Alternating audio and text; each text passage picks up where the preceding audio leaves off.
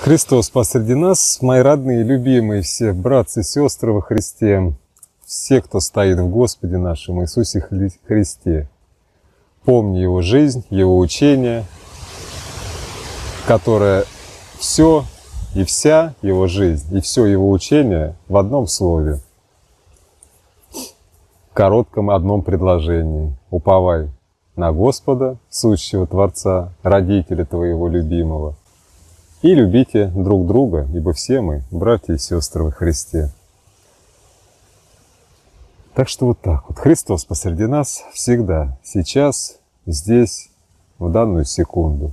И просвещает всякого человека, которого Он привел в бытие. Помните об этом. Знайте это, помните и держите это. И учите так. Не слушайте никого, кто вам не напоминает заповедь Господа наставления апостолов, боговдухновенные и полезные, и назидательные для церкви. Но если кому нужно, в Духе Святом, в свете Нового Завета слова пророков, ну или какие-то события истории человечества ветхозаветной, да может быть и новозаветной.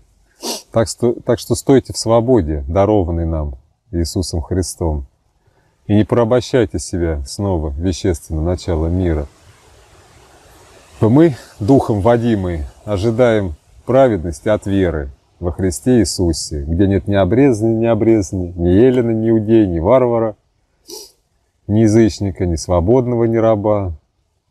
Мы все во Христе Иисусе будем и живы, и действенны.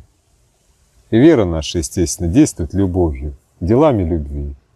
Любовью, любовь, она не на словах, она на делах добрые слова, любовные слова, поддержка, радость с радующимся, рыдание и плач с плачущими, рыдающими, скорбящими. Вот она, простая жизнь бытовая. Поговорить я хотел о святости и канонизации, так называемой. Или канонизации, а не и канонизации. Святость-то есть. Все мы, во Христа крестившиеся, народ Его, царственное священство, взятое в удел, народ Божий. Ибо, как мы помним по пророчеству, заключит Господь с нами, со всеми желающими, алчущими, жаждущими правды, новый завет, в котором не будет никто учить брат брата, познай Господа, но каждый, исполнившийся Духа Святого и живущий по заповеди Господа, будет знать Его, потому что тот, кто любит, тот познал Бога, ибо Бог есть любовь а не любящий не познал Бога. Вот вам и все богословие, теология, Богу знание, Богу ведение. Так что все очень просто. И вот, пожалуйста, вам, святость что такое? Святость – это плоды Духа. Человек святой, человек, у которого плоды весь обвешанный, который творит дела любви, дела упования. От этих дел любви и упования критерий – их правильность совершения, истинность, когда в человеке радость от этого. Он рубашку отдает и счастлив. Он, может быть, страдает, но уповает, Господь его укрепляет, он испытывает его веру в чем-нибудь, и он в этой вере стоит, не падает. От этого у человека радость в Боге и с людьми. От этого у человека мир в душе, и мир с Богом, и мир со всеми по возможности. От этого долготерпения, когда чего-то Бог долготерпеливый смотрит тоже, когда тебе что-то он, как он говорит, подал бы сразу, но смотрит на твое долготерпение. И подаст в свое время каждому, кому что полезно. И отсюда у человека и благость, счастье. Отсюда еще больше его сердце умягчается и становится богоподобным в милосердии, в любви к ближнему. Отсюда и воздержание, отсюда и вера, укрепление, надежда и упование. Вот так вот. Вот святость-то. А что такое канонизация? Люди. Люди, поющие панигирики и и строящие гробницы своим пророкам.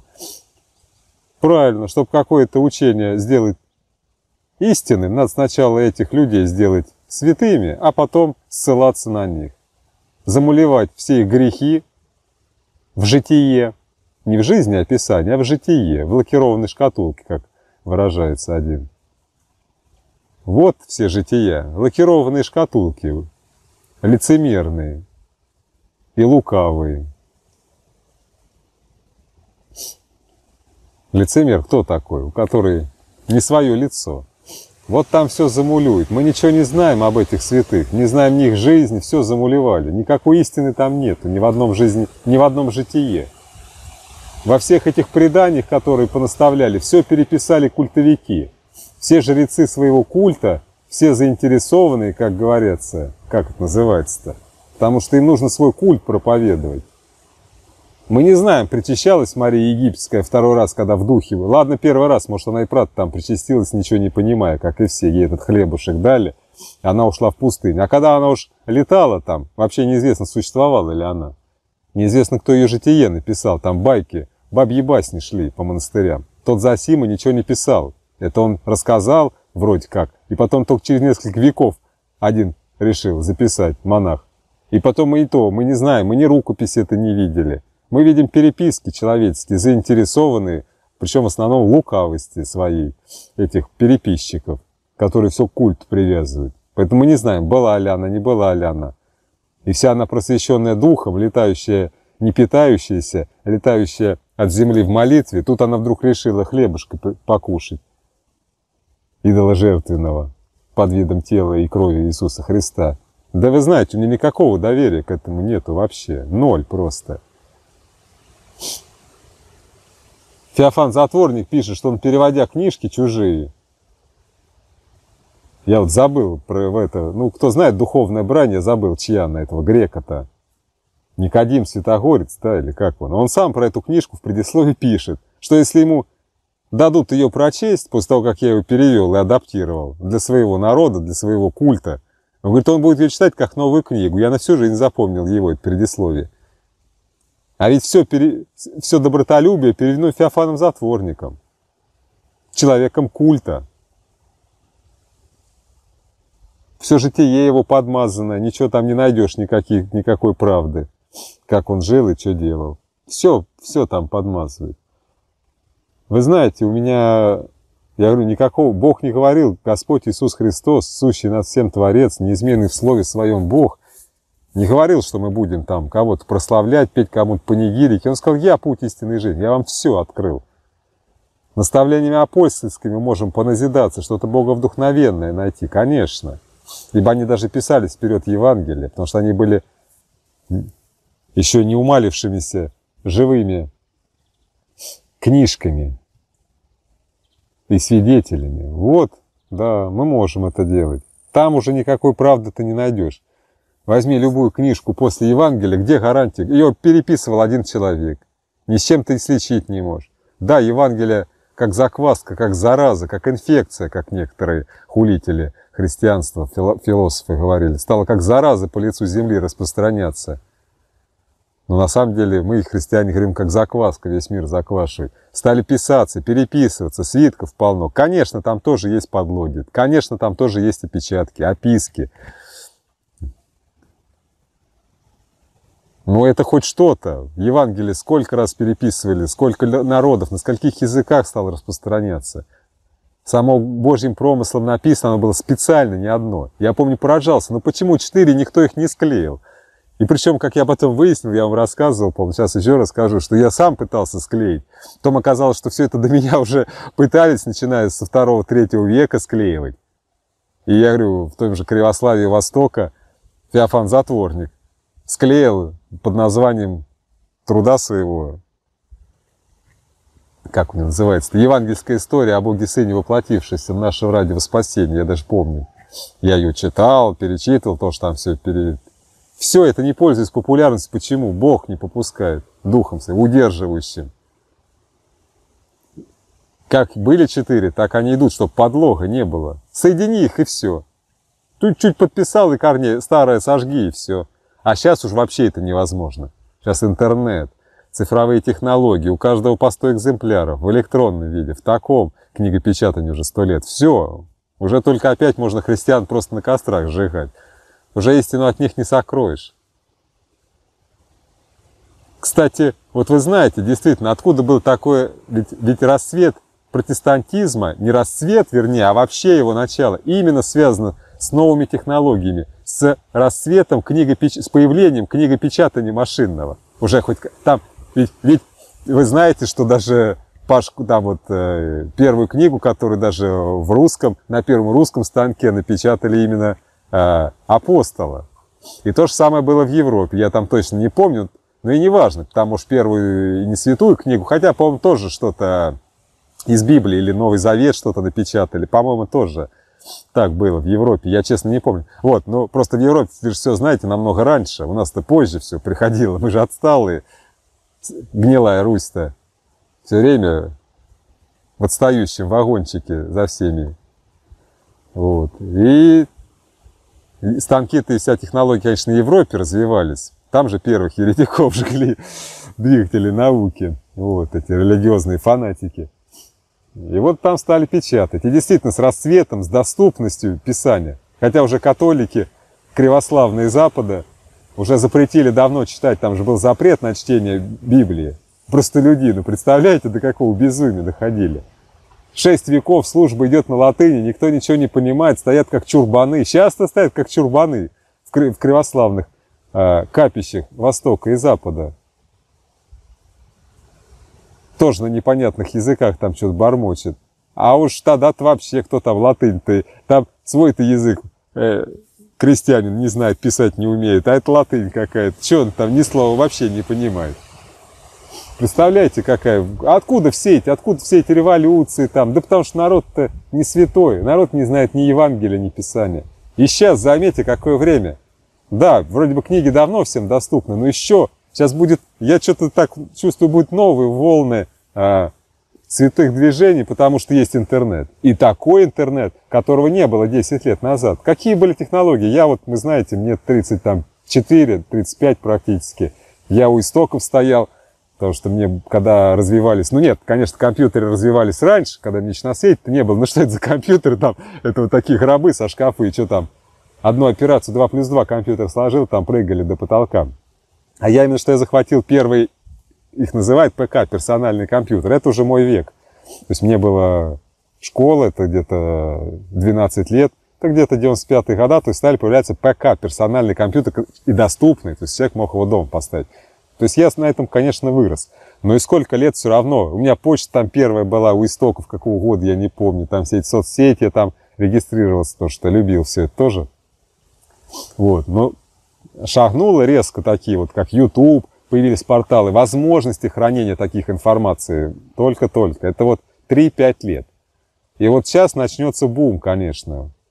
Бум. Да, будут и запреты, может быть, государственная палка опять возьмется какая-нибудь какая-нибудь секта с блудницей, с этой, с государственной опять сблудит, совокупится, и начнутся ходения на святых. Это, конечно, безусловно.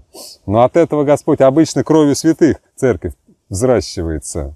Так семена еще лучше возрастают. Истинные семена, которые пули туда в Царство Небесное летят, которые не боятся, для которых жизнь Христос, а смерть приобретение. И такие святые христолюбцы будут как свет гореть, как было всегда, как было в первой церкви. Протестантизм, у него, конечно, начало-то хорошее было, выйти из системы, но, к сожалению, они создали свою систему. К сожалению. И тут же Лютер, не успев, за свою жизнь все успел за пару лет выйти, создать систему и начать убивать, сам сжигал еретиков на кострах. Но это вообще в голову не может вложиться. Выходя из системы, нельзя ни в какую систему вступать. Ты на то и вышел. Ты вышел не из конкретной системы, а вообще из системы. Потому что любая система порочна, потому что природа Бога – свобода. Свобода в любви, единство в свободе по закону любви, добровольное единство по закону любви, потому что только любовь соединяет. Только любовь сближает людей. Ты к любящему тебя тянешься просто к человеку.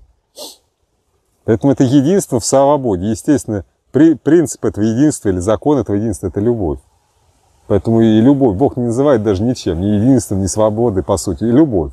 А любовь немыслима, без свободы, без единства, без всего-всего этих плодов или критериев любви, свойств любви, образов любви, как угодно назовите. Бог открылся как Бог любовь. И он к нам, кстати, именно делами любовь свою являет, а не на словах-то. Переведя нас в бытие, в бытие, которое сотворил прежде, а не в грязь нас головой бросил, когда земля была безвидна и пуста. Он для нас земное царство сделал, ввел нас сюда как царей, сказал, любите и храните, возделывайте храните этот рай. Нет предела удовольствия. Он говорил, возделывайте. Это и так рай, но нет предела удовольствия. Я вот вас в начальную точечку поставил, в средненькую. Можете пасть туда, отвалиться, а можете увеличиваться в радости, благости и счастье. Вот куда хотите, туда идите. Вот вам свобода. Вот вам древо жизни, я в вас. И вот вам внешнее древо познания добра, лже-добра, лже-познания, лже-добра и зла. А это все истинное зло. Одно дерево истинного зла. Только никто зло просто так не будет себе руку или голову отрезать. Это лишь система, вилочка, сатана все время. Вот тебе типа мнимое добро, а на самом деле такое же зло под личиной добра. Это все тьма под видом света. А сатана в виде ангела. Вот что такое святость? Их канонизируют люди. Нигде Бог не свидетельствует, что вот этот, мол, святой там, ему подражает. Да нет, этого отродясь никогда не было канонизируют люди, возводят гробницы своим пророкам, причем при жизни, кто почитает смех, сами себя обличают, вы почитаете, потом замазывают все. Все эти кривославные, и не только, всех толков и народов, и мастей. Почитайте, как они собственных, собственных, которых потом во святых возводят, а сами их гнобили там. Иоанна Златоуста затравили в оконцовке. Максима э, исповедника руку отрубили, язык вырезали. Собственные братья кривославные собственной иерархии. Симеон Нового Богослова, собственный синод и патриарх Константинопольский ссылает старца 65 лет без куска хлеба в одной тунике на необитаемый остров. Блин, вообще, где то какая любовь? Очнитесь, кривославные. Там любовью рядом не обоня, не, не, не, не пролетал никакой душок даже. Максима Греха загнобили, вызвали из Греции, давай, дружочек, помоги нам тут устроить а, культ, культ организовать, книжечки правильно перевести. Он им начинает евангельскую жизнь проповедовать, говорит, кривославные гнилой Руси, опомнитесь, надо жить по Евангелию, все, в сырую темницу, без права переписки. На 15-20 лет сколько там. Посмотрите на Иосифа Володского. Всех сжечь, всех на костры, всем головы рубить. Посмотрите на Филарета Московского. Дубасил своих попов почем зря. Ну, конечно, сейчас замажут скоро и это, никто ничего не узнает. И это называется церковь святых. Кошмар вообще. Это все культ. Культ. Страшный культ уводящий от Христа, ведущий в погибель. И вот вы знаете, у меня такое чувство не, неугасаемое. С самого начала было, конечно, всегда. Как просто эти слова Господа, которые я сейчас напомню из Евангелия, никогда у меня из ума тоже не выходит, тем более я всегда живу в Господнем Евангелии, читая, слушая его всегда. И вы помните, как он сказал, удивитесь, когда туда попадете. Ибо много придет с востока и запада. Конечно, кривотолки сейчас там расскажут, это о христианах речь. Да не только о христианах. Господь сердцеведец и будет судить людей по логосу внутри сердца его. А логос этот Бог, это древо жизни. Это его голос, его заповеди. Дух, начертанный на самом деле в каждом человеке. Ибо Бог природа бытия всего. Все ему приобщены. Мы жизнь сейчас имеем. Я сейчас говорю только потому, что Бог дает мне жизнь. Дает мне дыхание жизни. Дает мне силу жизни, здоровье, питание, все, что есть у меня. И любой человек ходящий, ему гвозди вбивали те руки, которым он давал силы. Его пронзали те руки, и тот человек, которому Бог дает жизнь и силу. Его плевали и заушали те, кому Бог давал силу в руки заушить Господа с такой силой, с какой Он хочет. Бог – это невероятная любовь. Но кто своему врагу будет топор натачивать. Вот Бог такая любовь. Он руки не сушает, а оздоравливает. Он говорит, я пришел не губить, а спасать. Не чтобы мне служили, а чтобы послужить. а у нас одно превозношение. Поэтому у меня твердая убежденность в том, что в Царстве Небесном будет очень-очень тьма. Тьма слово вроде бы не святое, но на самом деле мы знаем, когда туча чего-то, даже какой-нибудь там саранчи, пчелка, говорит, тьма аж, свет может загородить, там стая птиц большая. И вот, ну, оно и в хорошем смысле слова тьма употребляется. Это в Царстве Небесном, мы когда туда будем отходить все, слава Христу, то там будет очень много простых, добрых богословок-кухарок, богословов-плотников, богословов-строителей, богословов-служителей любви во всех ее проявлениях. Где там люди только не служат, на любом, каждом своем месте, ближнему своему, тот, кто рядом с ним. А где все эти будут монахи по пещерам поспрятавшиеся, где все эти будут проповедники культа, где все эти будут рубящие уши за истину, вы знаете, у меня большой вопрос, если честно. Поэтому там не то, что о святости речь. В кривославных молится за грешников, и панигирики поют святым. Не ошибаются ли они? Сам своего ближнего сказал, он молится, потому что он грешник. Откуда ты знаешь? Ты суд о нем знаешь, Божий. Придумали молитву за усопших. Ты откуда знаешь, где он? Он, может, у Христа за пазухой давно. А этот, где ты знаешь, рубил всех тут на кострах жег, да в нем любви не на грамма. О, это панигирики надо петь. Надо его на деревяшечке нарисовать. Ящичек рядом поставить. Ему же так деньги нужны. Там, на небе. Косточки его тут рядом вонючие положить. Это же так благочестиво. Это же так естественно, гигиенично. Ну, мы их, конечно, завернем в красивый фантик. Чтобы отвращения не было. Как они и мясо, и плоть Христову едят – исповедуешь, что это мясо, но чтобы отвращения не было, вот Господь решил свое мясо прикрыть видом хлеба. При этом я и чувствую хлеб, и вижу хлеб, но при этом я должен себя убедить, что я мясо сырое ем. Ну или, я не знаю, вроде там никто в алтаре не варит, я не видел его.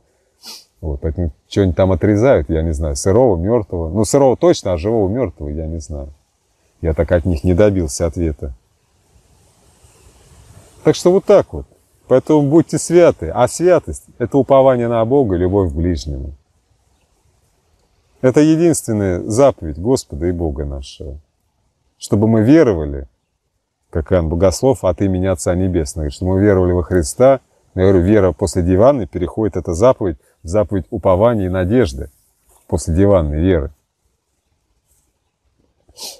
Потому что мы творим, мы раньше никого не благодарили, на Бога не уповали, а теперь творим дела достойные, соответствующие покаянию. Значит, если мы веруем в Него, чтобы Он там всех исцелял, не надо бежать к людям, уповать на них. Мы просто попросили Бога, и Он дает просто и без упреков. Он наш любящий Господь, Он наш любящий Отец Небесный.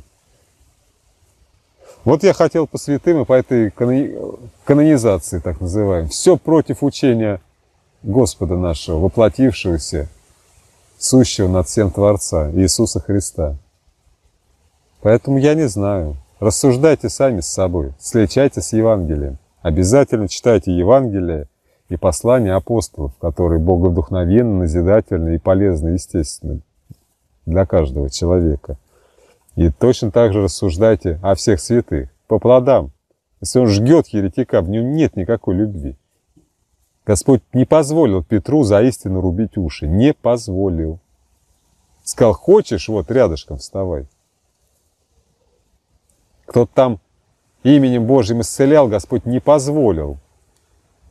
Запрещая. Вот там мы знаем, человек некто ходит, помните, Иоанн там тоже. Говорит, кто не против вас, тот за вас. Он тебе что сделал? Тебе ничего не сделал, вот и живи спокойно. А то всех еретиками наименовали. Живи спокойно в любви и уповании. И проповедуй учение Иисуса Христа, жизнь Его и учение Его, которое в простом слове «люби ближнего, как самого себя», ибо любящий ближнего исполнил закон. Вот и все. Ну все, на этом все. Вы знаете теперь истину, а ложь вы сами относительно истины увидите. Поэтому где все плохо, мы и так все знаем. Надо говорить, как хорошо. А хорошо – это любить ближнего. Но любовь – это не поступление в истине в своей. Когда тебе там что-то кто-то доказывать будет, это не значит, что ты должен вместе с ним культу поклоняться. Это не любовь. Он пусть хочет поклоняется.